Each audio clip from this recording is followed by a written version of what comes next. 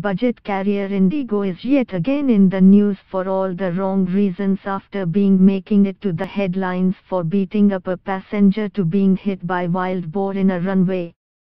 BCCL this time for a legal battle with the Delhi International Airport Limited, DIAL, over partly shifting its operations.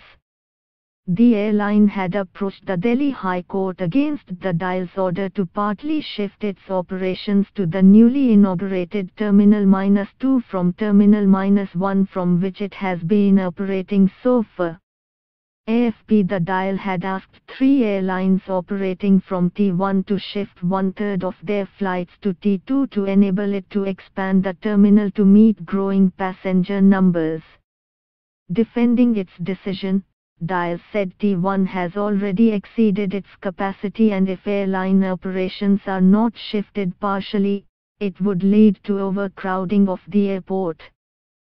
Don't teach me how to operate my airport, senior advocate Harish Salve, appearing for Dial said while opposing IndiGo's plea. BCCL he said safety and security of passenger was the primary responsibility of Dial and in case of a fire or a terror threat, an overcrowded airport would have serious consequences for which Dial alone would be answerable, not the airlines. IndiGo, the biggest airline according to the market share contended before the court that shifting partially from T1 to T2 would result in confusion and cause inconvenience to passengers. By this decision, IndiGo will be spread over three terminals as it operates international flights from Terminal 3.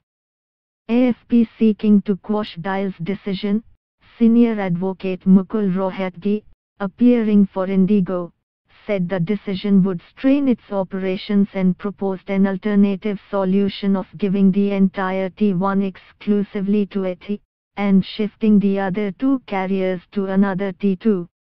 The dial had directed IndiGo, SpiceJet and GoAir to relocate their operations in parts and split their operations by shifting flights to and from some sectors, namely Mumbai, Kolkata and Bengaluru, to T2 with effect from January 4, 2018.